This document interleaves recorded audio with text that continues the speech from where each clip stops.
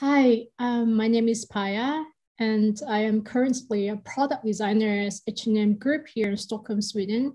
Uh, I want to thank uh, the, the, the, friends of UXDX to give me this opportunity to share this talk today. And my talk will be about designing for different cultures, Japan and Sweden in particular, and, and learn how our design behaviors to make a better product. Hi again, a little bit about myself. I am half Vietnamese, half American. Um, my um, my family is based in both uh, Saigon, Vietnam, and San Francisco, U.S. Um, I have lived in also Singapore and Japan. And I just moved to Stockholm, Sweden last year, October.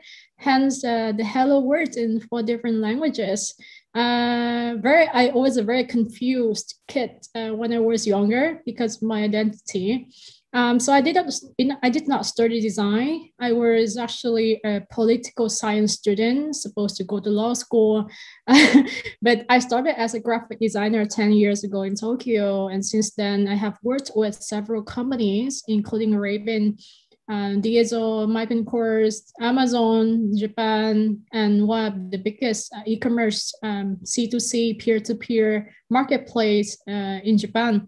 Um, uh, so most of my experiences are around e-commerce and payment. On a more personal note, uh, I am an ambivert. Um, 60% introvert, um, I would say. I love music. I love collecting uh, vinyls. And I love nature, mountains, love hiking, and also I love impulsive adventure like the sky uh, diving photo you see here. And I'm really into Buddhist teaching and meditation. Um, let's just start. Uh, here's the photo of Tokyo, Japan. Seven, um, sorry, uh, 37 million residents. Uh, super populated, very dense, a lot of visual noises here, as you can see in the photo. Uh, this is where I worked in Tokyo from the office um, and not much green, I would say, not much white space. And here is Stockholm, um, different, but also beautiful. Um, this look like we can actually navigate in Stockholm a little better. You know, you see the road and um, you know where to go.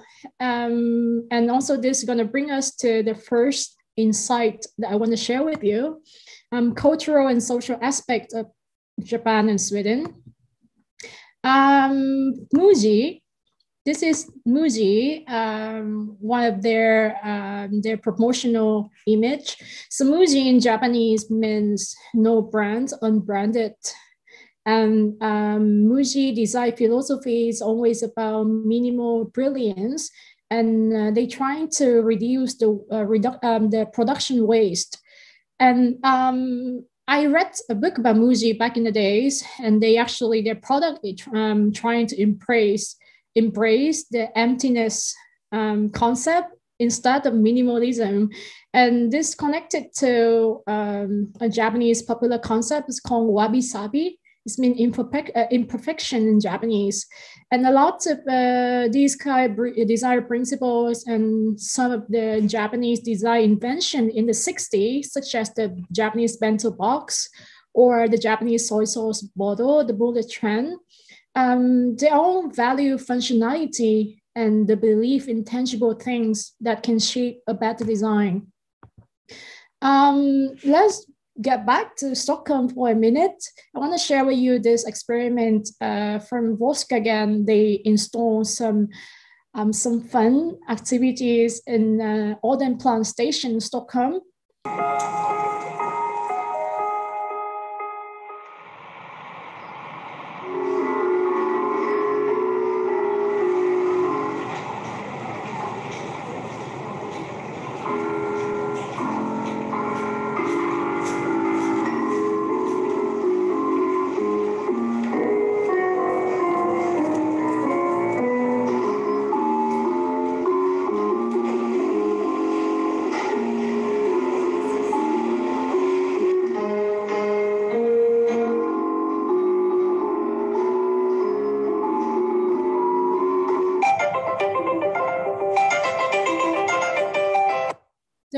Purpose of this experiment is to motivate the citizens to use more staircase instead of using the escalator. Um, and uh, I want to talk uh, about the concept of uh, lagom. Lagom in Swedish means not too much, not too little, just right. Um, and also the concept of um, constructivism and functionalism. Um, here you can see from the experiments that uh, Volkswagen want to tell us that fun can actually can obviously change the behavior for the better. Um, so in the 1930s, I believe a lot of famous uh, Swedish or Scandinavian design inventions um, it's called the golden age of uh, Scandinavian design, actually. And usually, the word uh, their words is uh, inspired by concept of uh, constructivism and functionalism, and uh, this actually the, this has shaped the even the current uh, design um, trend or concept in a lot of these digital products and Scandinavian design. Um, and then we're back in Tokyo again, not much white space. Here's the busy street of Shibuya. A lot of visual noise, um, high contrast and bold color scheme all over the street. Um, if you have been to Tokyo or Japan, you um, we we often come across these kinds of, uh, of infrastructure details um, that has a lot of typographies uh, that takes up negative space. Um, but actually, Japanese uh, people or travelers reading these kind of sites, they still can know where to go and which direction to follow. The more you walk, and you know, the more relevant information going to be presented presented to you. Um, in major transportation hubs or airports, um, the information is usually very clear, color coded, and simplified without overloading a user with too much information. I know the type typography can be a um, you know like uh, can be painful for non-Japanese people to read. However, uh, I I would love to introduce to you the concept of progressive disclosure. According to Interaction Design Foundation, um, pro- progressive disclosure is an interaction design pattern that sequences information and actions across several streams. For example, we have like an onboarding screen of showing the users uh, step-by-step guidance, how to sign up, how to use the app. Um, the purpose of this interaction is to lower the chances that users will feel overwhelmed by what they encounter um, I it took me uh, a while to understand this concept, um, and also um, Japan is a heavily instructed society. Uh, you can see from all the the uh, this actually uh, this this actually very fun for me to read on the tongue. Uh, it, it tell me a lot about the area that um, that I'm at actually. Um, so many um, big design companies in Tokyo or Japan, they they usually they they taking a lot of big like public design projects. Um, one uh, important takeaway from these kinds of observation for me is that Japanese people they are used to consuming a lot of information without negative space and they are tolerant with heavy amount of information uh, and visuality as well. Here's a fun example of stockholm's train station. Empty uh, very appropriate in this climate. Uh, i haven't used the train a lot since i moved here actually. And this is tokyo. A lot of navigational aids uh, here um, I can uh, translate this to you. This is, oh, it has some English text too, sorry. This is like where to board for women only car and uh, different kinds of manners that you should follow inside the train. And even the, the, the, the floor is like uh, the yellow tiles here in um, different material than the rest of the floor I believe this is useful for Japanese with uh, or Japanese or anyone with uh, visual impairment or blindness. Um, let's talk about layout and typography. Um, this took me years to learn. and uh, here is a Japanese poster for one of the biggest Japanese department store in Tokyo, Hikarie. Uh, I think it's beautiful, but some people can say it can can say that oh, not much white space. What is all about?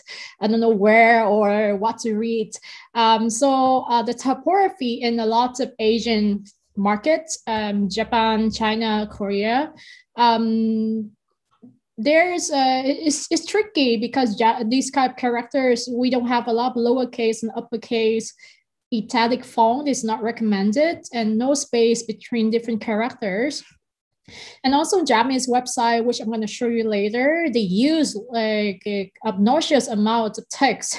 so it's really important for me to know how to make a good layout and how to use both colors and images in order to group it into one element to differentiate and prioritize content. I still think this is a beautiful poster and uh, such experience also like uh, is another example of layout the typical layouts that we use in japanese market um, here is a poster about how or how not to behave inside Japanese train.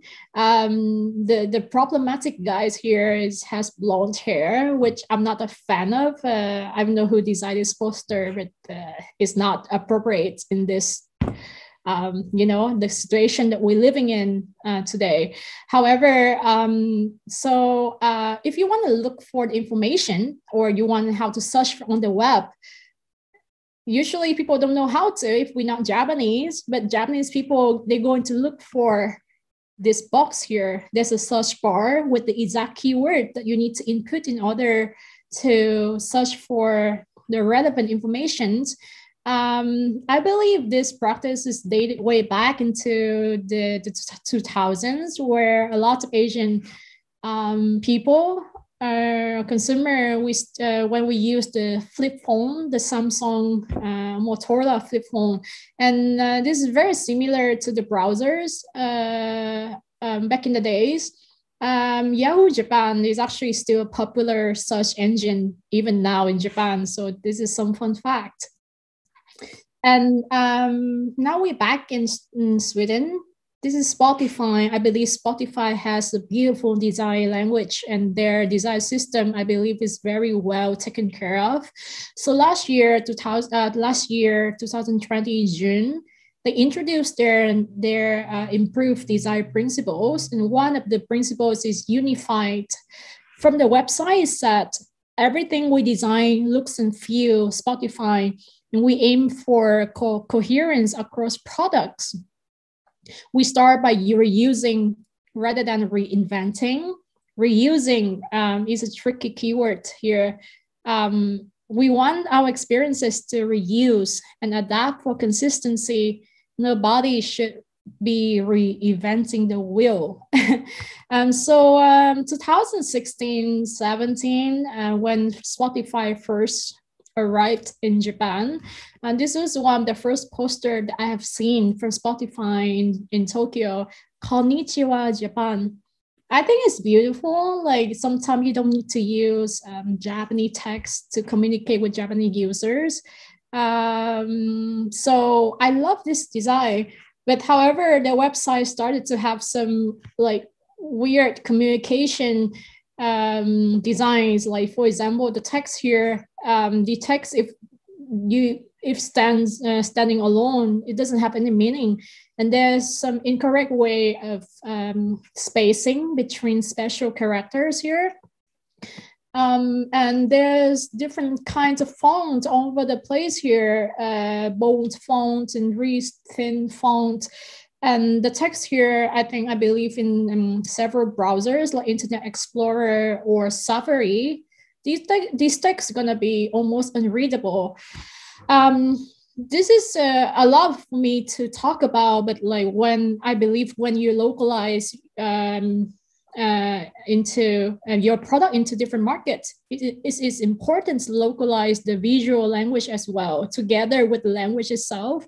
And in the eyes of customer in Europe or in this region, Nordic region, uh, some of the Asian designs, like Chinese, Korean design, Japanese design, can be seen as bad and clustered and not pleasing, pleasing on the eyes. I see this as not a bad design. It's just a design that we have we are not used to and we have the least context of. And I I just like I cannot deny like no one no one can deny that we're still living in the world of heavily Eurocentric design. So um, I think when working with design system, if you're working with a global product, it's important to have a localization guidelines um, for your design as well. Um, and I know it's, it's, it's, it's, it takes a lot of effort, but um, I, I, I assure you it's going to be so worth it in the end. Contact is everything is uh, another takeaway here. um, but however, I still have a great love for Scandinavian design. And one of the, my favorite principle is functionality over form. Um, here's the example of Teenage Engineering, um, very famous um, beat makers or music uh, uh, products. Uh, and their website is really, really beautiful. Like there's no line to divide between different contents.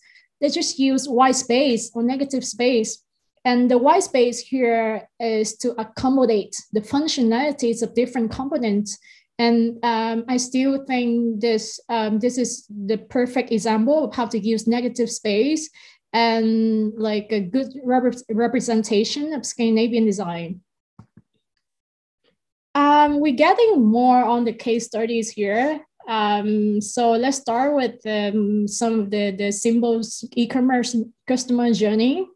Um, first, we have Japanese Uniqlo e-commerce website. I worked with them for uh, for some time, for six months, when I was a freelance consultant. Uh, they have different many other brands in Japan, but this is very typical for a Japanese e-commerce website. The top half of the websites usually on navigations. Um, quite strange, but let me walk you through the navigations here. Uh, we have the top bar, the headers, universal navigation, whatever you can call it. We have women, men, kids, baby, very straightforward. We have the search bar with some examples of the keyword that you should use. This is actually when you work with Japanese customer, I, I, I, I believe you, you, you, um, this is a good example actually. And under this navigation, we have another navigations. Um, this is more, it has more context to it. We have new, new items this week's special, um, limited editions items, and discounted items. And we have the campaign um, campaign information, promotional informations here. Um, the, the customer journey here, um, again, this is for Japanese customer, and they're gonna take time to read uh, relevant information, understand the context of how to look for your uh, wanted item, navigate to that category, go to the item detail, and finally add to cart. Um, so customer, uh, the customer journey here make more sense for Japanese consumer because again, they are more tolerant to like a heavy amount of informations. And this has a more holistic approach, and this can give the users more context. Like we have latest information, latest uh, items, limited edition items. Um, and in contrast, um, not in contrast, but a little, little different. Um, here's the H&M e-commerce website, uh, very straightforward navigation. So the customer journey here is, again, more simple. Look for relevant information, navigate, go to the item detail, and then decide to purchase. And um, it has a more analytical design approach and they is focusing on the specific needs of different users because they're you know like there's all the categories here for you to choose you don't have to like look for it you don't have to take time to look for it um, in general european or american customer they want to use a little amount of time to find what they want and therefore the navigation here is a perfect example of how to to work with uh, this behavior and uh, the demand um, and uh, a little bit more specific case study here. Uh, when I worked with that marketplace, uh, e-commerce marketplace product uh, in Tokyo, I was assigned with uh, this task up to redesign the FAQ or the um, the the support hub for the customers and uh, the the old design is pretty. Uh, I don't know how. It, it's not bad. Again, it's just very simple, and there's little navigation that you can. There's only one navigation uh, here. You go to the page, and you try to scroll like as long as you you have time to look for the informations. And there's no such experience whatsoever. So i started the task with laying out on the, the relevant pages and i tried to divide into different tiers here. And after understanding about the concept of progressive disclosure and heavy instruction for Japanese society, um, I try not to change the, the structure um, here at all. Um, the, I think the, the, the, the biggest improvement, this is the, the, the, the redesign, and to add the search um, bar here. And I worked with the machine learning engineers in order to give a more, um, you know, a faster um, um, such, ex uh, such experience by um, adding the automatic uh, keywords or the articles that might be relevant to what you want to search. And this got a lot of good feedback, and we we also uh, there's there's a reduced uh, amount of customer service workload, which is one of the the pain point uh, for this uh, this particular project. And also uh, we uh, we also took time to take care of the web design as well which didn't we didn't have this web version before. Um, because in um, let's say the countryside japan or a lot of stay home like moms uh, in japanese market some people still use the web about 10% in this particular product um, so yeah, taking care of the web is also very important. Uh, I think um, customer journeys that um, I that I, I've learned in my years working in Tokyo. Um, the last part is nothing uh, crazy or there's no contrast whatsoever. I believe inclusive design are um, my effort in taking care of uh, accessibility and uh, inclusive design hasn't changed um, whichever country that I've, I've moved to. Uh, this is close to my heart because my grandpa, he's actually has some disabilities that prevents him from using his finger to navigate the smartphone. Um, some example of some of the Scandinavian uh, web design is uh, to have some functions um, to accommodate uh, some of the disability or some of the visual impairments that our customer might have. Um, this is from H&M uh, e-commerce web. We have this activate high contrast mode. And also um, back in the days, actually just a year ago, actually, I was involved in a big, uh, big project of user re, uh, research and focus group study in suburb Tokyo and countryside Japan, we ran some uh, some uh, interviews and we uh, we did some uh, some um, group uh, study uh, with senior users, Japanese users, and this is like eye eye opening for me in a lot of ways. And I feel like both Japan and Sweden have seen a prominent focus in improving um, apps and website for the users of all ages and all economies. Japan is an aging population, a lot of old people. By 2020, the internet users in Japan above the age 60 had increased by 10%. And also in uh, Sweden and many Western countries, um, we all share a major social challenge, increasing aging population and how to deal with healthy aging. So I think my effort in this uh, area has strengthened more after moving to Stockholm. In H&M, I was given a lot of opportunities to work with accessibility and also how to communicate and also uh, to communicate more with our developers um, in order to you know improve accessibility and to include as many customer as we can um, and again, uh, I'm going to talk about a few takeaways from this talk. Um, the ultimate design is a little different from a natural world is from my favorite Japanese industrial designer, Kenji Ekuan. Um, context is everything. The design, it can be bad. It's just like can be of a culture that they you are not used to. Um, and empathy here is the tool that will help you understand who is right for your product and who is wrong for it. Um, customer different, but most of our strategy, either design or product development, is always singular. I have worked with in Tokyo in the past eight years, and I often heard people talking about Japanese or Asian designs as bad or too much too, too much text, too much uh, images, no white space. The truth is, we're still living in a world, and we are gotten used to. Um, we have gotten used to the Eurocentric design and also the workflow. Um, and no person else can in, can interpret uh, interpret the real customer in the real world. So us we are designers and we love to use principle and make principles or guidelines and reuse it in different contexts and markets. To be honest, uh, I feel like principles always create more work for us, and smart designers should study how these principles um, actually always make it hard to do good design and inclusive design, and we should make better ones.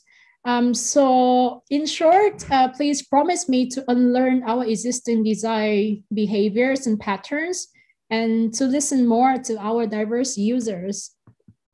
So thank you for your time. There are many different and con um, con controversial ideas in my talk, and I would love to hear your thoughts too either agree or disagree or to teach me more about things I haven't known. So please connect with me here or just give me an email. And I hope everyone stays safe and positive.